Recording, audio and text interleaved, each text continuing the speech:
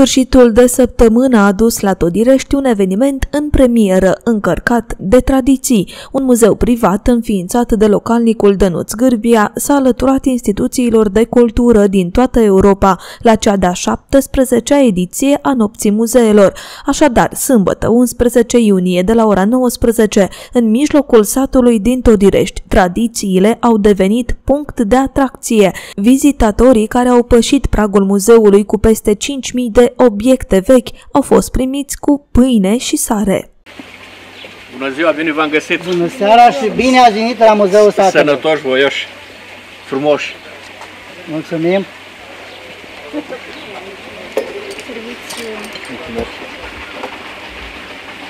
Bună seara, bine v-am găsit! Bine ați venit! Bună seara!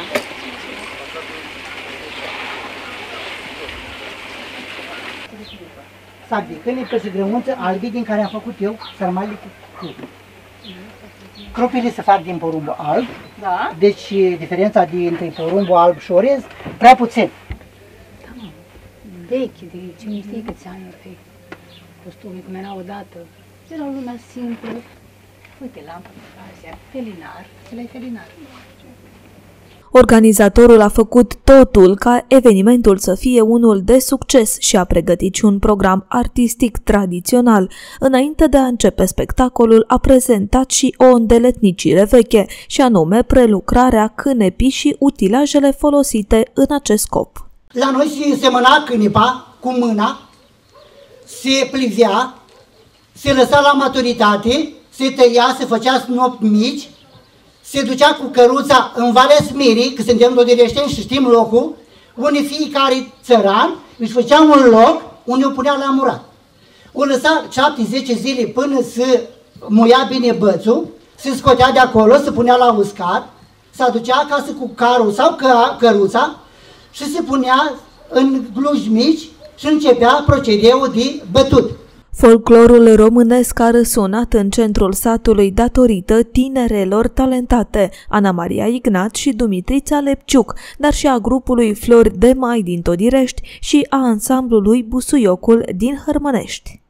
Și dacă satul românesc este cheia veșniciei noastre ca neam, haideți să-i păstrăm uh, tradițiile și obiceiurile. Fără ele, suntem un popor fără viitor. Câte frunză să nu Tati-ți doruri și să duc. Eu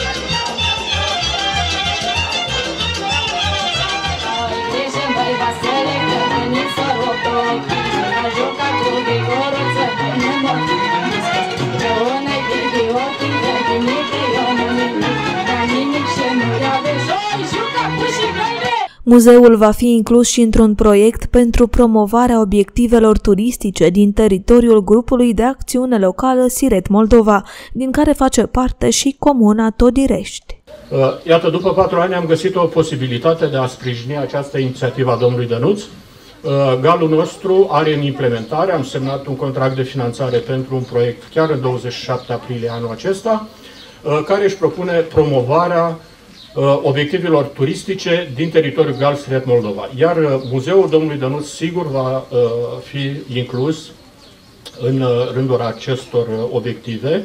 Managerul acestui gal, Gheorghiță Barău, i-a îndemnat pe localnici să îl sprijine pe Tănuț Cârbia în păstrarea tradițiilor, prin dăruirea de obiecte vechi din gospodăriile de altă dată. Am fost uh, abordat de domnul Dănuț uh, și am, uh, uh, am fost întrebat dacă avem posibilitatea să susținem această inițiativă a dumnealui. E o, o inițiativă lăudabilă, uh, trebuie să-l uh, să-l felicităm pentru această inițiativă și uh, v-aș ruga și pe dumneavoastră să-l, să-l uh, susțineți. Pentru că sunt sigur că foarte mulți dintre dumneavoastră aveți acasă, la dumneavoastră sau la părinții dumneavoastră, obiecte vechi, care pentru dumneavoastră poate nu au nicio valoare. Dar gândiți-vă că acele obiecte, pentru comunitatea dumneavoastră, poate au valori inestimabile. Povestea muzeului din Todirești va fi prezentată pe larg zilele următoare într-un reportaj filmat de o echipă BIT TV.